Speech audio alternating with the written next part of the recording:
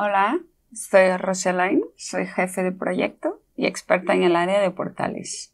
Y hoy os voy a enseñar a cómo instalar Liveframe en tu entorno local para el desarrollo. Muy bien, seguimos.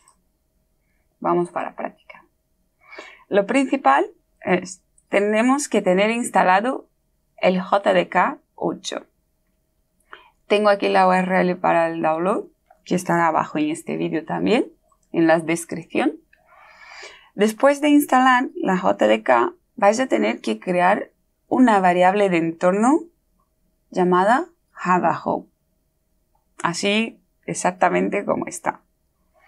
Después de la variable de entorno, vamos a añadir al path el Java Home bin. Haremos el download del Eclipse, que ya contiene el Life ID preinstalado. También tendremos la URL aquí abajo. Y lo instalaremos dentro de la carpeta c2 puntos, Life, ID.ID-7.2 y lo crearemos aquí dentro una carpeta Workspace Eclipse para poder abrirlo. Pues os enseño, aquí es el guion de cómo empezaremos. Os enseño un poco. Como si ya tenéis el Java 8, no será necesario este paso. Para saber si tenéis el Java 8, podéis venir aquí y ejecutar en el CMD Java menos version. Si tenéis el Java 8 instalado, pues este paso ya puede saltar. Si no tenéis, pues es muy fácil. Es solo venir aquí y digitar variables de entorno. Después de descargar el Java y ejecutar next, next, next, que es solo eso, ¿no? Venís a variable de entorno. Vais a buscar dónde has instalado el JDK, que normalmente si es un, un Windows 64, estará aquí. ¿Vale? Y tenemos nuestro JDK en archivos y programas. Podemos copiar el camino de la instalación. Vamos a venir a variables de entorno. Vamos a dar un nuevo. Yo ya lo tengo instalado, claro. Pero sería nuevo y Java Home. Y aquí el valor de dónde está instalado la JDK. ¿Vale? Dais a aceptar. Aquí en el path vais a dar a editar y tiene que estar el Java Home baja bin aquí. Lo que, que tenéis que hacer es dar como un nuevo que vais a venir aquí y hacer porcentaje, porcentaje, Java, E mayúscula, Java, Home, barra al revés, bin, bin y minúsculo, hacer bien las cosas y ya está. Yo como ya tengo eso, no lo voy a guardar, pero esos serían los primeros pasos para ejecutar un Eclipse y un Lifer y para nuestro entorno de desarrollo, claro. Tras tener nuestro Java perfectamente instalado e instanciadas las variables, lo que iremos a hacer es hacer el download y en la carpeta c2.ide vamos a instalar nuestro, nuestro Eclipse, que ya viene con los plugins de Liferay, el developer.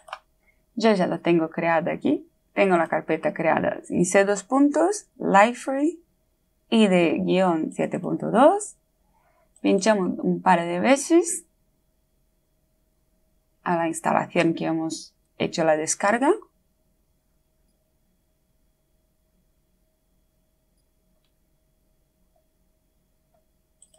Decimos que sí puede ejecutar Windows. Entonces, como podéis ver, aquí tenemos ya que el Eclipse al, al, pinchar un par de veces y cuando empieza la instalación quiere identificar nuestra JVM. Y entonces por eso es importante la JDK estar bien instalada y seteada nuestras variables de entorno. Podemos dar al OK. Vamos a ir a Next. Aquí debemos seleccionar la carpeta que vamos a instalarlo. no vamos a instalar en este camino raro. Vamos a instalar dentro de la IDE, IDE 7.2 y una carpeta limpia llamada Eclipse. Aceptamos. Vamos a Next, Next. No necesitamos de proxy ya que no estamos en una empresa. Me imagino que no estáis instalando en una empresa, si sí, poner el proxy. Vamos a ver. Y seguimos con nuestra instalación de la IDE. Mientras se va instalando, vamos adelantando qué debemos hacer más. Pues crearemos en la misma carpeta un workspace para el Eclipse, ¿vale? Que será necesario para abrirlo. Bueno.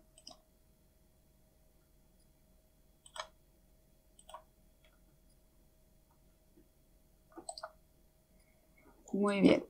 Pues creamos nuestra carpeta del workspace Eclipse. Ya le llamo Workspace Eclipse porque luego tenemos un Workspace de Liferay y, y no quiero que confundáis que no tiene nada que ver una cosa con otra. Pues muy bien. Aquí tenemos el nuestro Developer Studio ya. Vamos a arrancarlo a ver si va todo bien. Pincha dos veces. Aquí vamos a elegir el workspace que hemos creado en C2 puntos Live Workspace del Eclipse. Selecciona la carpeta y lo abrimos. mientras abre nuestro Eclipse con el Workspace, lo que queremos hacer es hacer el download del bundle de Lifer y esta URL que estará abajo también. Lo vais a descompactar en c2.lifer. Descargaremos el código fuente de Lifer en esta otra URL que también estará en la descripción del vídeo. Vais a descompactar dentro de source c2.lifer. Hacemos el download del MySQL y del Workbench para Windows, la versión 5.7 que todavía es más estable. Y tras hacer todo esto, instalar el Workbench, instalar el MySQL. Si tenéis alguna duda de cómo instalarlo, en el propio portal de, de Oracle tiene las instrucciones. Y ya iremos para crear nuestra base de datos en MySQL. Hacémoslo mientras, bueno, ya ha arrancado nuestro developer. Pero lo dejamos aquí minimizado y vamos a abrir el Workbench con el MySQL para crear nuestro esquema para Lifer. Lifer de caja viene con Hypersonic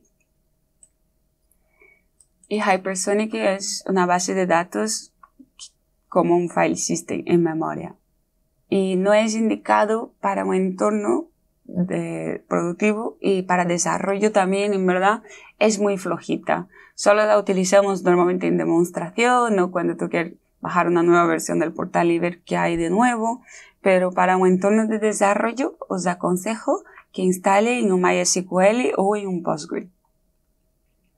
Pues aquí tenemos la query, que es Great Database Portal, default charset UTF-8 y el default collecte. Crearemos el esquema ejecutando la query. Muy bien, ya lo tenemos. Si vamos aquí, actualizamos. Aquí tenemos nuestro L portal. Ahora, el otro paso que sería el anterior, el download del bundle os aconsejo utilizar en, tu local. Normalmente el Tomcat es mucho más ligero. Y aquí, en esta, URL que os estoy pasando, es un bundle porque viene la plataforma Lifer junto con el servidor Tomcat. Pero hay la opción también de bajar un Lifer standalone y configurar todo en el servidor que, que os gustáis más. Como yo ya tengo aquí, entonces, descargado mi Lifer 7.2, lo que iré descargado y descompactado, lo que iremos a hacer es crear un nuevo servidor en nuestro Eclipse. Botón derecho, New Server. Buscamos aquí Lifer, lifer.x. Vamos a Next. Browser. Volvemos. Abrimos nuestro bundle que hemos bajado y descompactado. Tomcat. Y seleccionamos la carpeta. Aquí se está quejando que está seleccionada una JR. Mucho cuidado con eso. ¿no? Lo que queremos hacer es que vamos aquí y añadir nuestra JDK. ¿Vale? Directory. Archivos y programas. JDK. Seleccionamos, finalizamos y apuntamos, chequeamos la JDK. Damos un apply. Aquí cambiamos a JDK y ya tenemos casi todo listo. Vamos a next, finish. Entonces aquí ya tenemos nuestro Eclipse, tenemos la base de datos de la cual vamos a conectar y el servidor. Pues arrancamos el servidor. Puede que tengáis este mensaje que vais a permitir acceso. La primera vez que ejecute solo normalmente. ¿Vale? Permitir acceso. Y, el, y arrancar el portal vais a tardar más o menos unos 10-12 minutos la primera vez. Luego se torna un poco más rápido, pero la primera vez, como va a generar toda la estructura, va a tardar un poco. Entonces vamos a pausar este vídeo para que volvemos automáticamente cuando esté arrancado a la primera vez. Tras más o menos unos 7 minutos ha tardado en mi máquina. Hay veces que tarda un poco más, un poco menos, depende de de cuánto esté utilizando los recursos de tu, de tu ordenador. Pues aquí tenemos un mensaje final que es Server Startup. ¿Vale? Pues vamos hasta el navegador y digitamos localhost 2.8080, que es el puerto patrón por lo que viene el IFE. Después, si quieres cambiarlo, es posible. Y vamos a hacer las configuraciones principales y básicas. El nombre del portal lo mantenemos como Liferay, que será solo para desarrollo. El nombre del usuario administrador. Yo siempre mantengo test test. ¿Vale? El correo electrónico también. Y lo único que queremos cambiar aquí será la base de datos. No vamos a utilizar la Hypersonic, sino que el MySQL. Tras meter aquí el MySQL, vamos a tener que meter el nombre de usuario cuando has instalado el MySQL en vuestro local, habéis decidido meter un usuario y una contraseña. Yo voy a utilizar el mío que es root root. Muy bien. Y podemos finalizar la configuración. Y entonces veremos un mensaje de que la configuración fue guardada con éxito y para surtir los efectos tendremos que reiniciar nuevamente el portal. Toda la configuración que acabamos de hacer fue guardada en este camino, que ahora mientras reiniciamos nuestro portal iremos a echar un vistacillo. Pues aquí en el portal primeramente lo paremos y arrancamos. Mientras estamos arrancando, vamos hasta el camino que nos había indicado. Y aquí vemos que tenemos un Portal Setup Wizard. Abrimos con el Sublime. Y aquí vais a ver que no existe mágica, ¿no? Sino que todas las conexiones de la base de datos han metido como un property que si no sería el localhost, que es donde hemos creado nuestro esquema, el esquema L portal, el tipo de encoding, el usuario que estamos utilizando, el password, qué tipo de, de JDBC para la conexión a la base de datos estamos utilizando, que en este caso las secciones community está veniendo siempre el, la JDBC de MySQL, pero la de XP, por ejemplo, que es Enterprise, normalmente no lo viene, ¿vale? El usuario que tenemos administrador, el default language que hemos elegido, normalmente dejo todo siempre con, con default de instancia inglés y después voy creando para los sitios web otras lenguas. Y es de aquí las la configuración básica que acabamos de hacer. ¿Vale? Mientras estamos terminando de arrancar el servidor.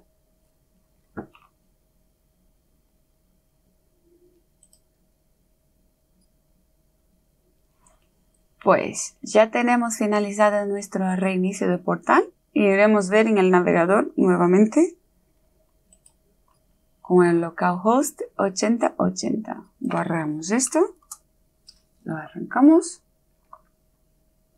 Y ya tenemos nuestro entorno arrancado y preparado para el desarrollo. Vamos a acceder con el usuario test, que es el usuario administrador, contraseña test, acceder. Aceptamos los términos de condiciones, metemos el nombre como test del padre, guardamos.